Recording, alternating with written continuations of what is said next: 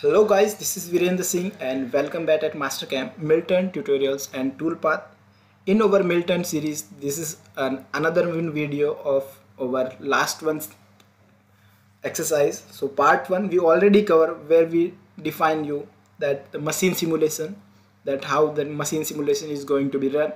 After that I show you that how we can do the workpiece setup that we also cover in last video and in this video we will cover about the, all the tool paths for the turning tool paths that how we can create on the mastercam mill turn module.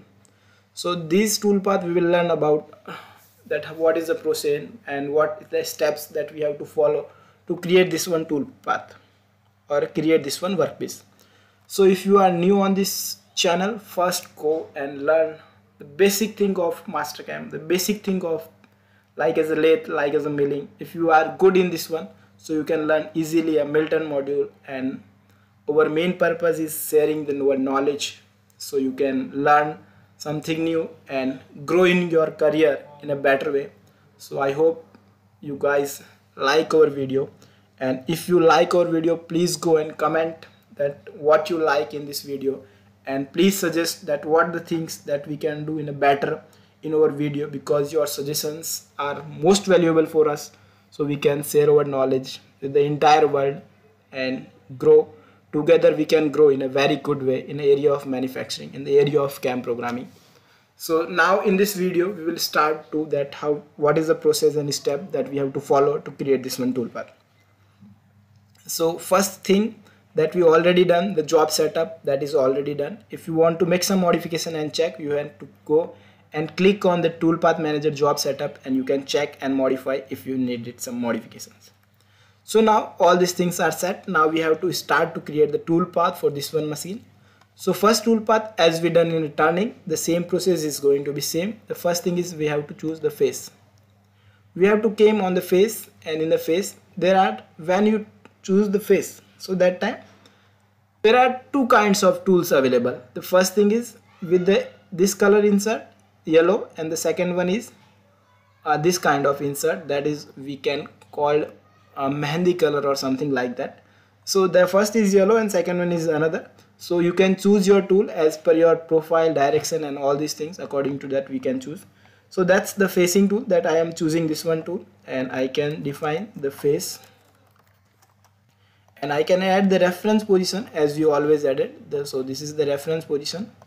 And after adding the reference position the, all these things are same like as we previously do the lathe so if you are new and have a lathe knowledge. So think you will get idea okay i am expert in mill turn nothing to do new. But there are some things are going to be changed. That that is job setup. That is the most important thing that you always have to choose the job setup that you have to learn in a mill turn. The second thing that is the axis combination. That is the new. For this one machine there are the four set uh, for the Mill Turn there are four options are available in the axis combination but this machine have only left side spindle and only have a single turret. So that time and that turret is in upper side. So that's why that is H here that is visible. The left side spindle and the turret is upper. If you have the, all the four turrets so that in that condition we have to choose all these things in a proper way to getting or create a perfect toolpath as per the required. But for this one uh, our purpose is to introduce you with the Mill Turn and do a first very basic exercise with the help of Mill Turn. So that's the reason we are creating this video. So that's the first facing operation is done. After that we have to go and roughing. We have to click on roughing right at here here to here. Just say okay.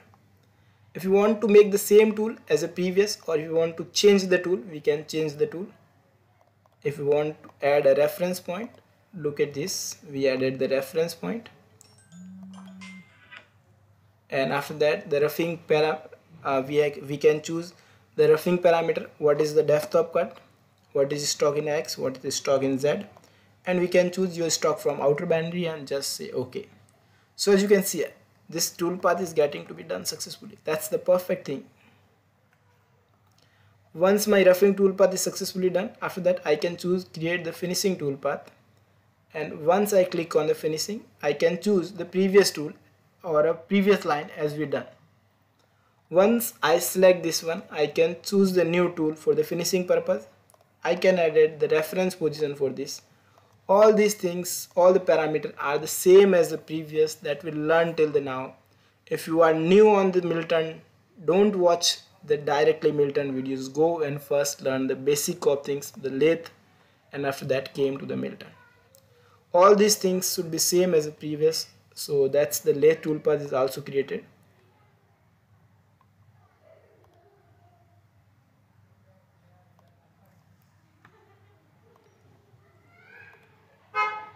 So this is the tool I selected. The reference point I selected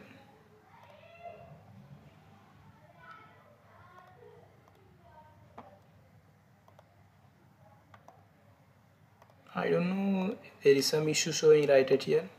So again I choose the finish chain right at from here to here. And I just select the tool. This is the tool.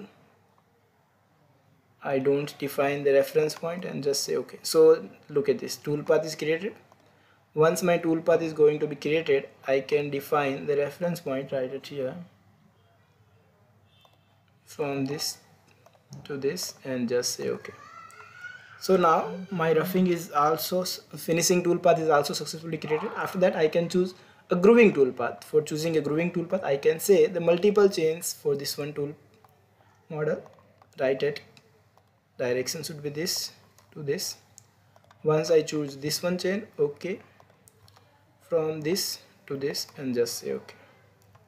So I can now actually write it here. I can defining the workpiece and all these things or tool and all these things. So this is my tool reference position.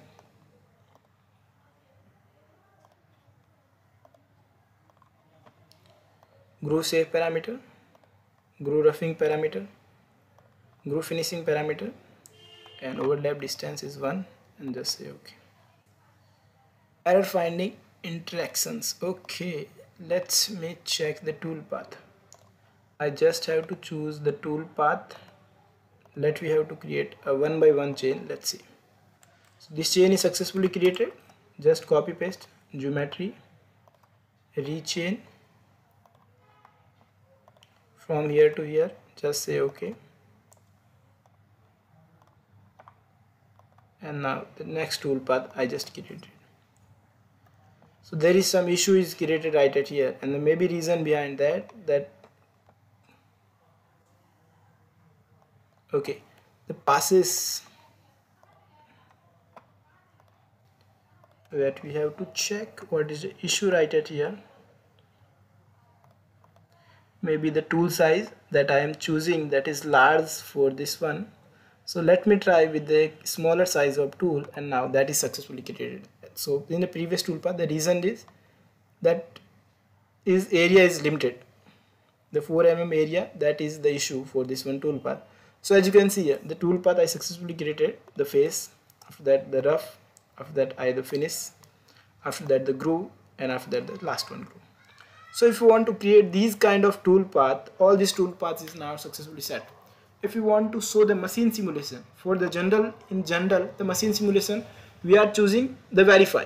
But when we have a Mill Turn module so that time you have to select click on a G1 once you click on a G1 so that time all these things are happening and after that we have to make some synchronization right at here. But there is no synchronization required for this one time because we have a single spindle and single turret. When we have multiple spindle and multiple turret so that time we have to choose the axis synchronization.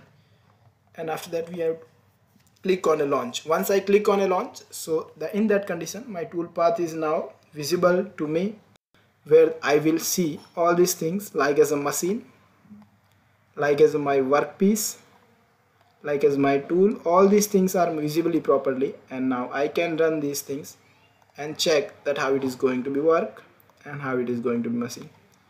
So all these things that we cover on today's or if is in this session of our Mastercam Mill Turn module where we learn all about that what is a Mill Turn what are the different concept what are the different things and that we learn in a detail. So the first was facing after that the roughing after that the finishing. Once the finishing is successfully done after that I go for the grooving. And once after once of my grooving I just go with the final small size tool with the grooving so all these things are successfully set up properly. So I hope you guys get idea and get some understanding about that how my Mill Turn is processes work.